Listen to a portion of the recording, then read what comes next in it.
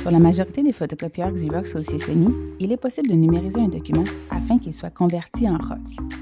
Il suffit d'aller dans le menu Courriel et de sélectionner votre adresse. Ensuite, on sélectionne le format PDF. Dans le menu suivant, il est très important de sélectionner un PDF interrogeable. Lorsque c'est fait, on envoie le courriel et le tour est joué.